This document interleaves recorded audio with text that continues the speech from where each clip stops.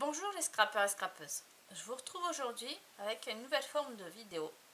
Il y a plus d'un mois maintenant, j'ai suivi un premier cours de euh, scrapbooking en ligne sur les pages de scrap par une scrapeuse espagnole, Violeta Scrap.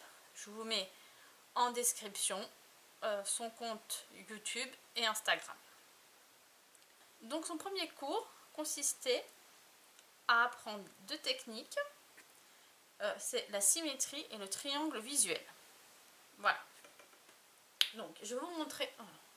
Je vais vous montrer ce... Je, elle nous avait envoyé un PDF. C'était des cours payants, bien sûr. Hein. Donc, elle nous a envoyé un PDF. Euh, et euh, elle nous a fait, après le cours, une petite vidéo privée pour nous réexpliquer le tout. Donc, j'ai regardé tout ça. Je me suis dit, pourquoi pas vous dire un petit peu ce que j'ai appris. Et nous allons à la fin refaire euh, une page de scrap ensemble avec les techniques. Donc voilà, moi c'est ma réalisation. Donc, pour la symétrie, donc, pour elle, la symétrie, la symétrie c'est d'avoir ce que nous avons à gauche et à droite est la même chose. Donc si nous divisons notre page par le milieu, nous avons la même quantité de choses symétrie des deux côtés. nous avons bien deux photos, les, le même cadre et des choses comme ça. Donc ici, vous voyez, le, si nous plions en deux, nous avons la symétrie. Vous voyez ici même mon titre, je l'ai bien centré pour que ce soit symétrique la quantité. J'ai juste mis quelques petites touches en plus après, peut-être j'ai fait des erreurs, c'est pas parfait, mais euh, voilà, j'ai voulu réapprendre à faire des pages scrap un peu différentes. Donc, ce qu'elle nous avait demandé, c'était déjà de préparer bien sûr les papiers. Elle nous avait conseillé au début, si nous avons une même une collection, pas entière, mais une collection avec des die cuts qui vont ensemble, c'est plus facile au début pour pouvoir euh, combiner les photos euh, la présentation, les papiers, plus facile à, faire. Pour commencer, c'est mieux. je pense que je suis pas très bien centrée. Voilà. On va essayer d'équilibrer la page. Voilà, comme ça. Donc, donc, elle nous avait demandé, je vous remettrai les dimensions euh, en description de ce que je vais vous dire. Donc, pour les photos, euh, donc, donc deux photos, euh, on peut faire donc les formats classiques, euh, classiques des deux photos 10, 10 euh, par 15 cm. Moi j'ai fait, je pense, un peu plus petit. Hein. J'ai repris un peu quand même parce qu'il ne faut pas, comme elle l'expliquait dans son cours, il ne faut pas hésiter à recouper les photos. Et du coup j'ai fait, si je me souviens bien, je vais remesurer. J'ai repris les dimensions qu'elle a fait sur sa présentation je l'ai même fait un peu plus petit. J'ai fait plus petit parce que je pensais que pour moi la, les photos étaient un peu trop grandes. Je trouvais qu'elles prenaient trop de place qu'il y en avait deux. Donc j'ai fait moins. Euh, ce qu'elle disait, hein, ce qu'elle dit, c'est après il faut réadapter euh, le, projet euh, à ses photos. Si on veut des photos plus petites, ben, on fait plus haut. Si on veut plus grand, ben, il faut aussi après réadapter les dimensions des choses. Donc j'ai fait des, la, la photo elle fait 8 cm sur, sur 13. Moi, euh, j'ai pris cette dimension-là. Donc, euh, après, on, utilise... Elle, elle avait conseillé, moi, j'ai pas pu parce que je n'avais pas à disposition, euh, papier de fond blanc. J'ai pris du rose pâle. Je me suis dit, au moins, c'était uni. J'ai essayé de prendre ça. Après, nous, elle, nous a donné, elle nous avait donné les dimensions des papiers, ici. Donc, les dimensions que je vais vous donner ici des, des trois papiers qui sont en haut, ça prend jusqu'à le, haut de la feuille. Donc je vais vous réindiquer. Ça, ce sera les dimensions les dimensions de celui-ci, de toute manière, je vous réindique. Les dimensions papier 1, c'est 4 cm sur 4 cm sur 30,5. Là, c'est 5 cm sur 30,5. Et ici, celui-ci, c'est 16 cm sur 30,5. Et celui-là d'en bas, c'est 1 cm sur 30,5. Et après, donc voilà, là c'est les dimensions des papiers. Là c'est la base, 30, 30, 30 sur 30, hein, 30 et demi à peu près. Ce ne sont pas 30 cm là, les pages. Euh, donc là, ça c'est les dimensions des papiers. Après ici, j'ai réutilisé pour faire le cadre des deux photos. Donc j'ai réutilisé le papier qui était là, c'est le même qui est ici. Pour faire un rappel, je vais peut-être vous présenter de plus près. Le papier qui est ici, c'est le même que celui-ci. Voilà.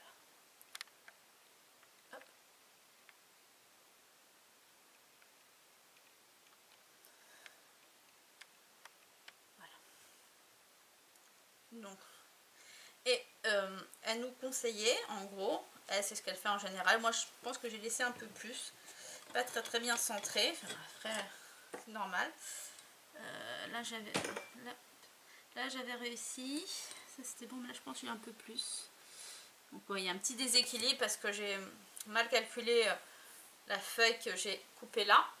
Mais elle conseille de laisser à peu près 3 mm de chaque, entre les photos, on va dire là, là, là, là, là. 3 mm. Voilà. Donc, pour la symétrie.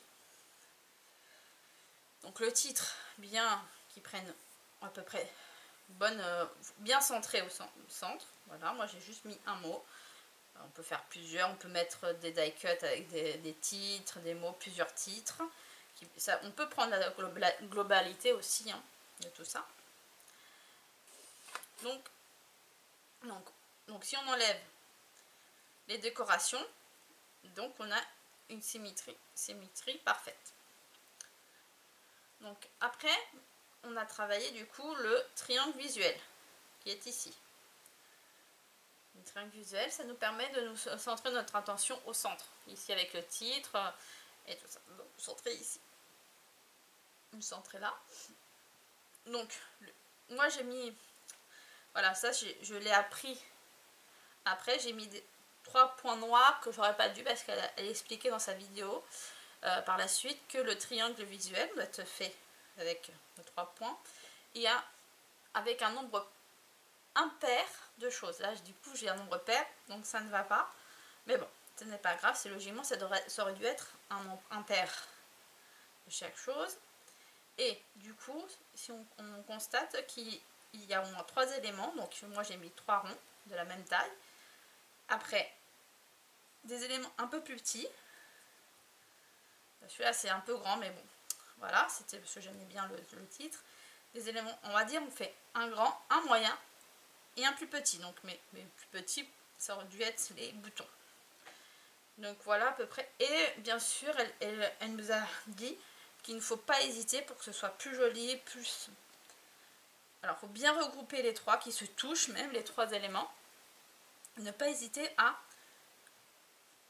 voilà, placer les choses aussi sur les photos, comme ici, passer, euh, euh, la, mettre un peu d'éléments sur la bande du, de, dessous, voilà, être dessus, pas juste grouper un peu dans le vide, si j'aurais mis là tout seul, c'est dans le vide, et ça fait moins joli. Il faut comme si ça reposait sur quelque chose. Donc là, ça repose sur ce côté-là, ça repose sur ce côté-là, ça repose sur ce côté-là. Donc voilà. Donc, euh, moi, euh, elle nous a dit du coup de travailler bien sûr ce premier cours en faisant la symétrie. Là, on l'a fait à la verticale, de le faire à l'horizontale cette fois-ci. Donc, de reprendre ou dans ce sens-là, ou de ce sens-là, bien sûr. Euh, toujours la verticale. De reprendre ce projet-là, avec d'autres papiers, et refaire cet esprit-là de symétrie. La symétrie, moi je pense que je vais faire comme ça, la symétrie comme ça. Donc, et un triangle visuel dans le même esprit, à peu près aux mêmes éléments. Euh, donc voilà. Donc, on va commencer à faire ce projet ensemble. Donc pour ce projet, j'ai pris une ancienne collection de Karine Cazenave. une ancienne. Je crois que c'est sa première collection qu'elle a sortie entre les lignes. J'ai euh, retrouvé, euh, voilà, j'ai fouillé chez moi parce que le but aussi de, j'ai oublié d'indiquer, le but de ces cours en ligne pour Violetta, c'est qu'on utilise le matériel que nous avons. Ce n'est pas justement, on n'a pas un kit qu'elle nous fournit pour faire le projet. C'est vraiment utiliser notre matériel et l'adapter au projet. Donc je trouve ça bien parce que j'ai du matériel que je n'arrive pas à utiliser et je me suis dit, allez, je me lance. Donc voilà. Donc j'ai... Donc je vais vous présenter un peu le matériel que je vais utiliser, je pense, pour ce projet. Donc j'ai sorti la collection. Voilà, j'avais déjà utilisé pour, euh, pour une autre page il y a longtemps. Donc là je l'ai ressorti, je me suis dit allez je vais l'utiliser. C'est dommage, elle est là, je ne sais pas quoi faire avec. Je me suis dit allez, je, pense que c'est euh, pas mal pour euh, cette collection là. Donc voilà un peu les die cuts, les papiers, les différents. j'ai déjà un peu composé, j'ai déjà un petit peu composé dans ma tête des papiers. Donc je vais utiliser ces deux photos là. Donc là avec le beige et tout, je pense que ça se marie bien. Le jaune, ça fait un peu de peps. Tout ça, comme c'était quand même une journée ensoleillée, je pense que c'est pas mal. Donc je ne sais pas si je vais utiliser tout. Euh, bien, tout non, mais dans les petits boutons, j'ai sorti ça. Euh, ce n'était pas de la collection, mais à la couleur, ça va bien. Et les Medal Dot, je les ai sortis au cas où. Pour le titre, je pense que je vais utiliser ce mini alphabet que je viens d'acquérir de 4 en scrap. Euh, un alphabet que je n'avais pas. Je me suis dit, tiens, je me faut des fois pour faire des, titres, des choses, on n'a pas toujours des... Je pense que c'est pas mal pour avoir toujours, pour pouvoir fermer mon alphabet et pouvoir le coller par la suite. Donc voilà. Donc je vais sûrement faire ça. Et euh, du coup, je vais commencer à couper. Donc pour la base, je vais, euh, je vais prendre le fond blanc. Cette fois-ci, j'en ai retrouvé un. Donc je vais faire avec le fond blanc. Je vais commencer à couper les papiers. Et euh, je vous montre le montage après. Alors, nous allons commencer à faire la page scrap ensemble. Donc là, j'ai pris une base 30,5 30,5 blanche cette fois-ci. J'ai découpé les papiers, j'ai fait ma combinaison de couleurs. Donc là, pour mettre ici, du coup, hop, celui-ci qui fait donc 30,5 sur 16. Donc vous voyez qu'il va du bout au bout de la feuille. Après, du coup, j'ai pris celui-ci, hop, qu'on mettra ici il couvre la totalité, qui fait donc, euh, là c'est 5 cm. Après, je choisis celui-ci, on va mettre ici, hop, donc ici qui fait 4, donc en gros, hop, là on ne voit pas bien, mais voilà, il reste 1 cm de visuel. Donc après, de ce côté-là, j'en ai pris un ici. il y avait un petit motif, mais bon, c'est pas très très gênant. Euh, donc ici, il fait 1 cm. Mes photos, je les ai redimensionnées euh, comme le modèle de euh, Violetta Scrap. Donc les photos font 11 cm sur 8,5 pour encadrer ces photos, donc vous voyez ici, vous avez les horizontales. On a des verticales là, mais on a aussi des horizontales. Donc là aussi, on a verticale horizontale. Ça, ça paraît pas mal. Donc ici, on va essayer de centrer tout ça. hop, mettre ici donc à 3 cm de chaque bord et de là aussi 3 cm de chaque bord. Et ça va donner ceci à peu près. Voilà, ça va donner donc une symétrie à l'horizontale. Donc, je vais, euh, donc ce qu'elle nous avait aussi euh, dit, j'ai oublié de vous l'indiquer tout à l'heure, euh, on, ne colle que le... là, on la colle en entier, la, page. pardon. Le papier d'en dessous, on le colle en entier. Celui-ci, on laisse quand même... On ne colle pas jusqu'au bout. Comme ça, si on veut plier un petit peu pour faire un peu de relief, ça peut être très joli. Donc, on colle pas le tout. Donc voilà. Donc je vais passer au collage de ceci et je vous retrouve après. Donc voici euh, la partie collée des papiers. Donc là j'ai eu un petit euh, souci, je pense que j'ai mal mesuré pour le cadre, l'encadrement des photos. Il me reste que 1 mm en bas. Bon, tant pis, c'est pas grave, on va faire comme ça. Donc je pense que là, le, le cadre ici est un peu trop... J'aurais dû rajouter un tout petit peu plus de centimètres ici. Bref, à vous après d'adapter bien sûr euh, les mesures à vos papiers euh, et à vos photos. Donc maintenant, je vais mettre un titre ici, comme on était dans la ville de Saragosse. Je vais mettre ici Saragosse, je vais faire avec, comme je disais tout à l'heure, je vais prendre le, le dies de, lettres et je vais faire mes lettres comme ça ici et le coller ici Saragosse ici euh, et après je, donc je, je passe à la découpe de ça. Je vous reprends au moment du collage de, du titre et, et après et on fera l'embellissement du triangle visuel ensemble. J'ai collé mon titre, j'ai fait, comme j'avais indiqué avec euh, un dies alphabet, j'ai fait mes, mes, lettres, je les ai collées juste là. Donc j'ai mis mon titre, maintenant il faut faire le triangle visuel. Donc je prends, je récupère du coup mon modèle d'avant. Voilà, donc à peu près je suis équilibrée là-dessus. Donc si vous voyez bien, donc il y a ici, il y en a trois, euh, il y en a quatre, mais je veux que trois ici. 3 là et 3 là. Après, j'ai peur qu'avec le titre qui est très beaucoup plus grand que l'autre, je vais voir si je décolle pas un peu parce que le triangle, il faut juste peut-être le décaler un petit peu, peut-être mettre là, là et là. Je vais, on va essayer de faire ça ensemble.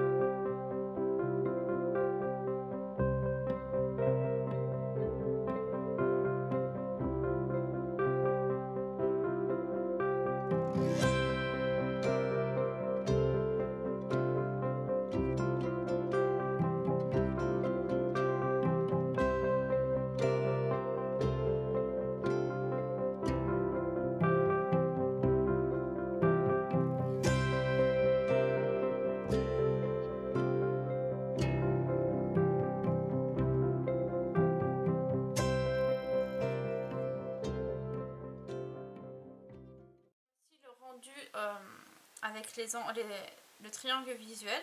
Donc j'essaie de respecter l'équilibre de trois objets. C'est vrai que là celui-là est assez grand mais je trouve que ça va bien pour dire euh, ce que je veux. Donc là ici ce que j'ai fait parce que j'arrivais pas à trouver, je voulais un cercle, là j'en ai pas retrouvé mais je voulais mettre le cœur parce que bon c'est la famille. Là ce que j'ai pris c'est une chute de papier, j'ai pris euh, une trouilloteuse à cercle pour faire un, embellissement en plus. Et euh, voilà, j'ai fait du coup mon équilibre en essayant de mettre du gris, du rouge. Là, bon, bah, il y a un petit peut-être un déséquilibre, je sais pas trop. J'essaie de mettre en, pratique le, visuel. Ce que je vais faire, je vais vous mettre les deux. Je sais pas si je peux pas vous mettre les deux, mais à peu près. Oui, j'ai décalé un petit peu ici parce que c'était trop proche du titre. Peut-être ici, j'ai peut-être fait une erreur. J'ai peut-être trop décalé. Bon. j'ai mis un peu plus haut pour essayer de rééquilibrer ici. Euh, moi, je l'aime bien au final. C'était compliqué de mettre euh, les embellissements. Hop, voilà, voilà. Donc, voilà du coup le rendu de cette page. Euh, j'espère donc de cette page. Je vous propose de me de faire une page et, et si vous voulez la poster et me la, partager sur ma page euh, Facebook, il n'y a pas de souci. Euh, je repartagerai moi aussi de mon côté. Donc, euh, donc voilà. J'espère que cette vidéo vous aura plu et je vous dis à très bientôt sur une prochaine vidéo. Bye bye